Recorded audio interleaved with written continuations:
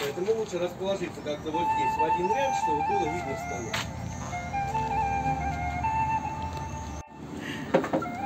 Станок готов к работе. Вот это резец. Ногой вращается заготовка, резцом точим.